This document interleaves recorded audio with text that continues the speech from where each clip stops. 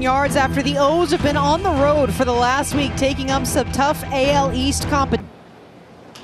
And you'll take that all day as Crawford skies this one out behind third. Urias playing back, and he's got it. 641 OPS on the year. Wow.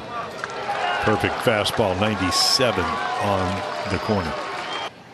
A lot of flow in the stands tonight. First pitch, rip back to Urias. He scoops it off the ground, throws over, and Dylan Moore. A quick out for Zac Lowther after he had an efficient three up, three down fourth. Well, Dylan's just happy he didn't get plumbed. It's just, I mean, Ramon's played fabulous third base. I mean, pretty routine for him. Seen a good arm, great hands. Did make the error at shortstop, but that's a little different position. Well, again, you get it quickly. It's kind of an internal climb I have. 50 innings.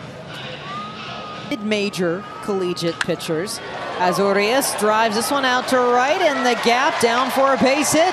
Urias on the way to second. Rodriguez comes up with it.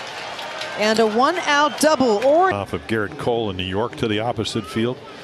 Doesn't, doesn't see too many fastballs out over the plate that he doesn't like or is not his best friends.